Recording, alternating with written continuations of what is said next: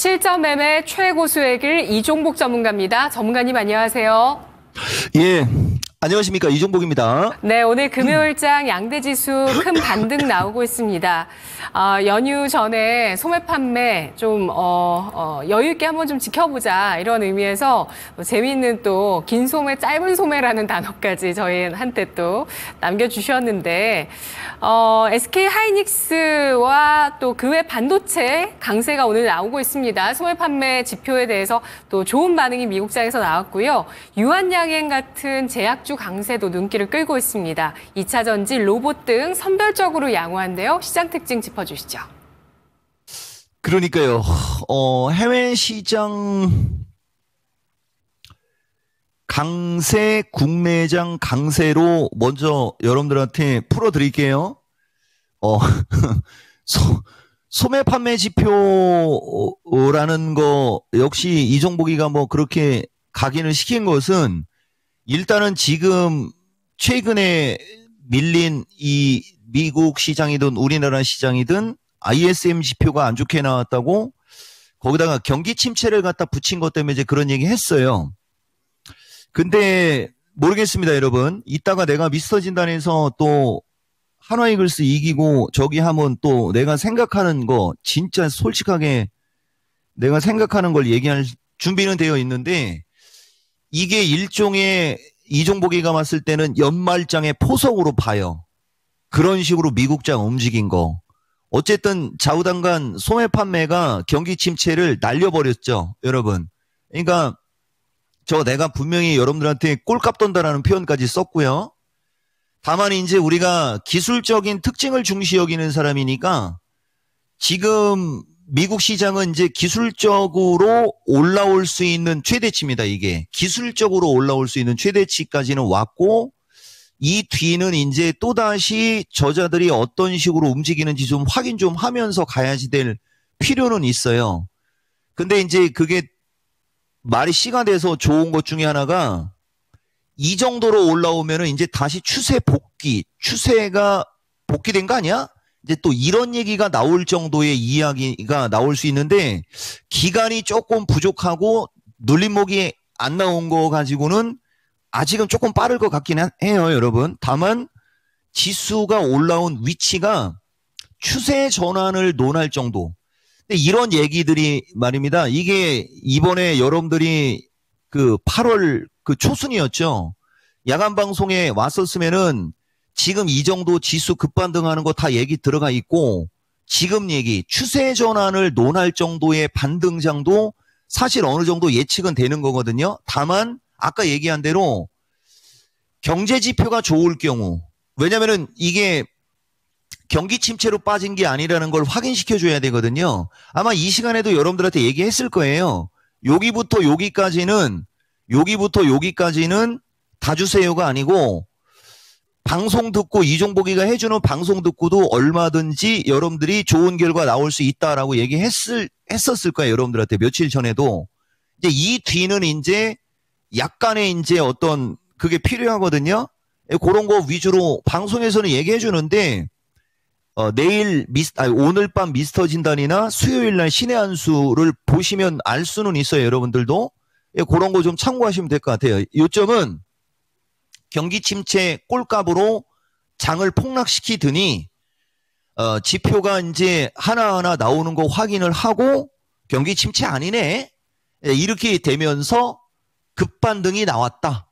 아, 요게 요점입니다. 그러니까 오늘 우리나라 반도체, 자동차, 2차 전지가 들어가야 되는데 아쉽게도 2차 전지는 낙폭과대가 아니다 보니까 그죠? 제약이 들어가요. 어, 반도체, 자동차, 제약 등 강세. 그죠? 근데 여기서도 여러분들 보면 알겠지만은 하이닉스의 반등이 삼성전자 반등하고는 비교 안 될 정도로 세거든요. 근데 저것도 있어요, 여러분. 어, 8월 6일 날이죠. 그때 우리가 증시 폭락했을 때, 주식 시장이 폭락했을 때, 이종복이가 여러분들한테 SK 하이닉스 갖고 얘기해 주면서 8월 6일이 중요해요. 지금 8월 16일이에요. 어, 8월 6일 날 SK 하이닉스가 삼성전자보단 매력적일 수 있음이라고 아마 여러분들한테 마케텐에서 얘기해 줬을 거고, 그 다음에 8월 9일 날도 241선 붙어서 올라간다라고 하면서 이제 얘기해 줬던 거예요. 이게 여러분들한테. 이런 어떤 기술적인 걸 좀 우리가 알아야 되는데, 어, 지수가 어쨌든 단기간에 급락이 나와버리면 그 급락이 나온 시장의 특징을 파악하고, 어, 그게 정상인지 비정상인지를 파악한 뒤, 일단 많이 빠진 주식이 유리합니다, 여러분. 여기서 많이 빠진 주식 유리한 거 얘기했으니까 요거까지 갈게요. 그때 여러분들 장 폭락하는 과정에서, 그러니까 지수가 바닥이 안 나온 상황에서 조선주가 움직일 때 조선 기자재 조선주 움직임이 좋다라고 했을 때 내가 싹 잘라버렸죠.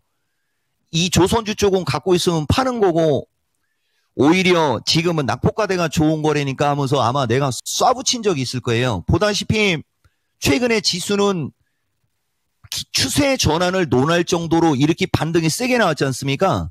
이렇게 반등이 세게 나오는데 조선주는 오히려 반등 나오는 시점부터 흘러내리고 있는 거라는 거죠. 낙폭과대가 잘 움직이는 게 딱 요 지수 때까지예요, 여러분. 딱 요 지수 때. 그래서 어쨌든 하이닉스 반등 좀 나오고요. 거래량 적은 건 단점이고 요런 거 이제 미스터 진단에서 물어보면 디테일하게 얘기하겠죠. 그 다음에 한미 반도체 반등 세게 나오고 있고요. 그 다음에 이제 지난번 우리가 연휴 전에는 내가 여러분들한테 HP, SP 정도 얘기했어요. 다 엄청나게 많이 빠졌죠, 종목들이. 그런 게 하나의 특징인 거고, 그 다음에 현대차도 요번에 많이 빠지고 반등해서 소외됐다고 좀 올라는 가요. 자동차도. 현대차도 아마 62선 원조리로는 반등 시도 계속 나오겠죠? 요런 게 이제 낙폭과대 특징이고, 그 다음에 이제 제약인데, 이제 결국은 또 유한양행에 튀지 않았습니까, 여러분? 이것도 미스터 진단에서 7월 초순 때, 초중순 때쯤 계속 갖고 가겠다고 했던 거 내가 꼴값 떠지지 말라라는 식으로는 얘기 안 했어도 그 자기가 생각하는 대로 안 움직일 거라고 얘기했고요. 이, 이 사지 말라고 얘기했다가 최근에 이제 많이 빠졌을 때 좀 얘기하고 있는데 여러분들은 SK 바이오팜을 들었을 거고요. SK 바이오팜이 여기 날짜 있지 않습니까? 8월 1일 그 다음에 이제 8월 8일 마켓텐에서 여러분들한테 내가 SK 바이오팜 굵은 것 중에 안 올라간 거 딱 얘기해주고 있는 장면이에요. 그래서 요런 요런 식으로 지금 장은 낙폭과대 그다음에 반등 이어지고 낙폭과대 주식 플러스 제약주도 순간 낙폭을 했던 거거든요. 그런 종목들 올라가는 거고 2차 전지는 오늘도 눈치만 보고 있고 세게는 안 올라가는데 모양을 만들고 있는 거예요, 여러분. 거래만 터지면 쏩니다, 이것도 이제. 대신 이제 오늘도 보면 나는 여러분들한테 얘기는 잘 안 해도 엔캠 같은 게 또 오늘 엔캠은 또 15% 급등하지 않습니까? 요런 거예요, 여러분. 엔캠도 최근에 4, 5월 달서부터 보면 여습대 여기까지 반토막이죠? 아까 에코프로나 얘들하고 무슨 차이가 있는지 보이시죠? 얘들은 늘어진 거고 얘는 급락이 나오니까 또 이렇게 반등도 세게 나오는 등 어쨌든 전체적으로 오늘 주식시장은 향후에 기술적인 눌림목은 있을 수 있으나 어, 최근에 급락했던 시장을 어느 정도 안정시켜 주는 거에서는 확실하다. 이렇게 정리할 수 있습니다. 네, 주식시장의 급락이 과연 어떤 의미를 부여할 수 있는 것인가에 대한 판단이 너무나 중요하다라는 점 오늘 강조를 해주셨는데요. 알고리즘 매매 때문인가, 프로그램 매도가 정말 많았다 등등 또 여러 기사들, 분석들도 또 나오고 있는 상황입니다. 경기 침체를 핑계로 일단 급락시켰다가 회복시켜주고 있는 시장에 대해서 주목해 주시면서 오늘 장 움직이는 납폭과 대주, 반도체, 자동차, 제약이었다라고 분석을 해주셨는데요. 배터리는 뭐 21선, 61선 부근에서 좀 지지부진한데 거래 대금이 붙으면 언제든지 쏠 수 있겠다라고 보셨습니다. 오늘장 투자 전략 어떻게 세울까요? 370 돌파, 367 지지 체크했어요. 근데 370을 또 아침에 360, 300, 369.9 줬잖아요. 근데 그 좀 전에 우리 권미란 앵커가 했던 말을 내가 좀 섞어서 얘기를 해줄 수도 있는데 그냥 그런 거예요, 여러분. 주식이라는 게. 뭐 누차 얘기하지만 우리는 평생을 저런 것만 생각하면서 살았거든요. 대신 하나만 얘기해 줄게요. 이제 주식 시장을 급락시킬 명분이 없어요. 이거 되게 좋은 얘기예요. 주식 시장에서 제일 무서운 건 경기 침체로 빠지는 거예요. 경기 침체, R공포, 디플레이션, 스태그플레이션 이런 걸로 빠질 때는 답이 없는 겁니다. 근데 나머지 다른 걸로 빠지는 것은 간단하게 해결할 수 있어요. 근데 이번에 빠진 것은 너무 어이없는 그 기사로 내가 얘기했죠, 여러분. 기사도 함부로 보지 말고 이종복이가 말하는 기사만 보세요. 그냥 차라리. 기사도 말도 안 되는 어이없는 기사 쏟아내면서 저렇게 만들어 놓고 얘기했잖아요. 외국인이 하방을 구축하지 않는 한 증시 폭락은 없습니다. 없어요. 외국인은 하방을 구축하지 않았단 말이에요. 저, 저자들도 뒤통수 맞은 거예요. 저 외국인 투자자들도. 그래서 어쨌든 간에 뭐 포트폴리오 조정 기회로 얘기하면서 조금만 더 얘기해 볼게요. 어, 어쨌든 주식 시장이라는 게 그런 거고 나는 평생을 폭락장이 어떻게 오느냐만 연구하면서 사는 사람이에요. 내가 봤을 때 이건 아니야 그러면 아니에요. 폭락은 아니에요. 대신 이제 올라갈 때 이제 주식이 문제인데 주식이라는 것은 이렇게 폭락이 나온 다음에 올라갈 때는 보세요 여러분 지금 거래 거래량도 안 붙잖아요. 그죠? 어, 거래도 안 붙죠. 이게 이제 폭락이 나오니까 이게 이제 심리적으로 위축이 돼서 그런 거거든요. 그러면 여기서 내가 여러분들한테 좋은 얘기, 아, 시간이 부족한데, 포트폴리오 조정 기회라고 얘기하면서 얘기해 주는 거예요. 지금 여기 이렇게 급반등이 나오는 걸 보면 작년 10월에서 10월 말 때 폭락했다가 11월 달부터 급반등하는 시장 요 보이시죠? 이거하고 같은 느낌으로 지금 올라가는 거예요. 근데 작년도는 분기의 조정이 나온 거예요. 60일간 조정이 나온 거예요. 60일간. 근데 최근에는 20여일간밖에 안 빠진 거라는 거죠. 19여일에서 20여일. 그러니까 3분의 1, 1, 1, 1이 더 강력하게 밀리, 밀리다 보니까 종목들이 늦어지는 겁니다. 근데 여기서 눈치를 볼 때 어떤 식으로 눈치를 보느냐가 중요한데 그걸 감안해서 지금 내가 포트폴리오 조정을 얘기할 때 2차 전지가 반드시 들어가는 거예요. 아까도 얘기했듯이 여기서 포트폴리오를 조정을 할 때는 일단 반도체는 중심에 있으니까 반도체가 들어가야 되는 거고 여기서 지수가 밀리면 뭐가 빠질까요? 또 반도체가 밀리면서 지수가 눌림목이 나오는 거예요. 그렇다고 반도체가 밀리면서 주식시장에 눌림목이 나온다고 반도체를 안 담을 수는 없는 거예요. 시장과 함께 가는 건 반도체 엔비디아니까 그래서 반도체가 들어가면서 2차 전지는 늘어졌고 반등이 소외됐죠. 그래서 2차 전지가 반드시 들어가야 됩니다. 그래야 이 반도체와 2차 전지가 서로 해지 역할을 하거나 계좌 수익을 극대화하는 역할을 하는 서로 보완 작용을 하게 되는 거고 그다음에 제약주는 금리 인하 이제 시작하잖아요.